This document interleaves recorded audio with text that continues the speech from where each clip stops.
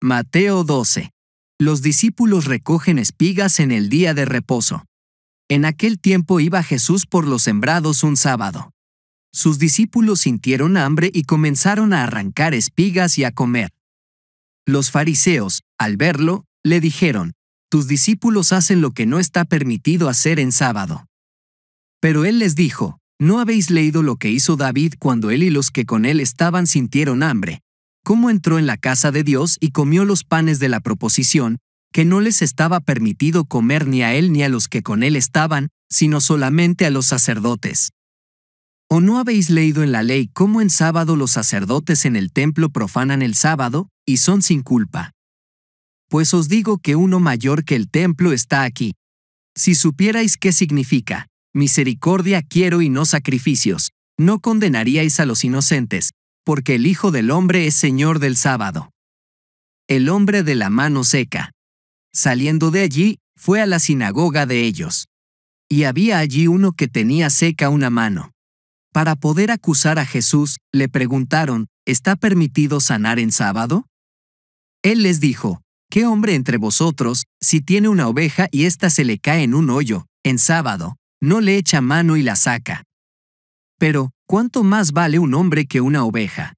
Por consiguiente, está permitido hacer el bien en sábado. Entonces dijo aquel hombre, extiende tu mano. Él la extendió y le fue restaurada sana como la otra. Salieron entonces los fariseos y se confabularon contra Jesús para destruirlo. El siervo escogido. Cuando Jesús supo esto, se retiró de allí.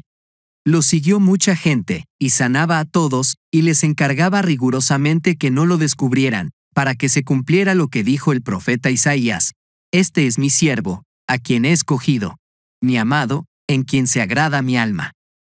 Pondré mi espíritu sobre él, y a los gentiles anunciará juicio no contenderá, ni voceará, ni nadie oirá en las calles su voz. La caña cascada no quebrará y el pábilo que humea no apagará, hasta que haga triunfar el juicio. En su nombre esperarán los gentiles. La blasfemia contra el Espíritu Santo.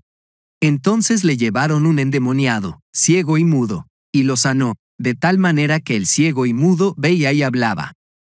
Toda la gente estaba atónita y decía, ¿será este el hijo de David?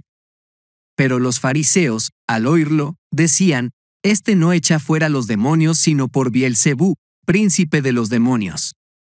Sabiendo Jesús los pensamientos de ellos, les dijo, Todo reino dividido contra sí mismo es asolado, y ninguna ciudad o casa dividida contra sí misma permanecerá. Si Satanás echa fuera a Satanás, contra sí mismo está dividido. ¿Cómo, pues, permanecerá su reino? Y si yo echo fuera los demonios por Bielcebú, ¿por quién los echan vuestros hijos? Por tanto, ellos serán vuestros jueces. Pero si yo por el Espíritu de Dios echo fuera los demonios, ciertamente ha llegado a vosotros el reino de Dios, pues ¿cómo puede alguno entrar en la casa del hombre fuerte y saquear sus bienes, si primero no lo ata? Entonces podrá saquear su casa. El que no está conmigo, está contra mí, y el que conmigo no recoge, desparrama.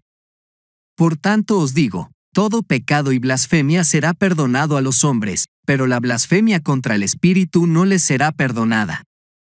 Cualquiera que diga alguna palabra contra el Hijo del Hombre será perdonado, pero el que hable contra el Espíritu Santo no será perdonado, ni en este siglo ni en el venidero. Si el árbol es bueno, su fruto es bueno, si el árbol es malo, su fruto es malo, porque por el fruto se conoce el árbol.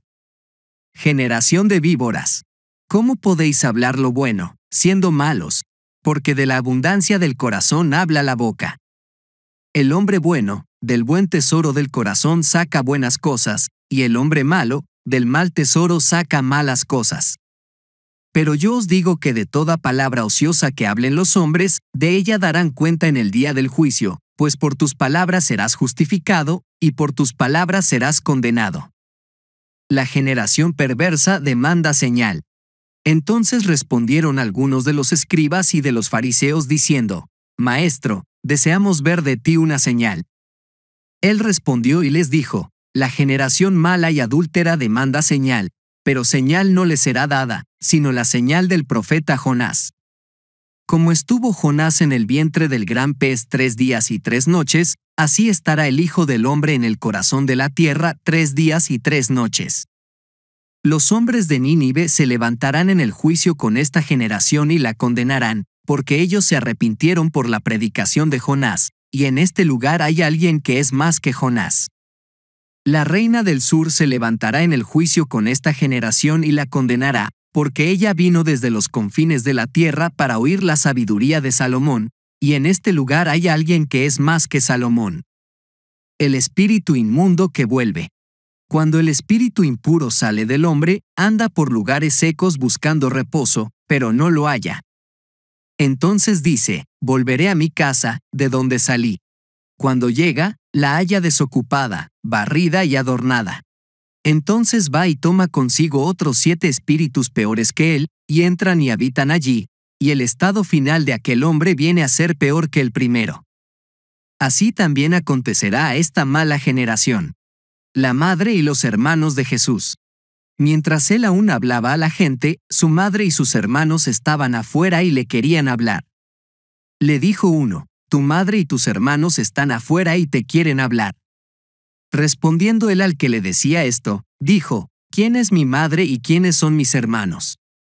Y extendiendo su mano hacia sus discípulos, dijo, Estos son mi madre y mis hermanos, pues todo aquel que hace la voluntad de mi Padre que está en los cielos, ese es mi hermano, mi hermana y mi madre.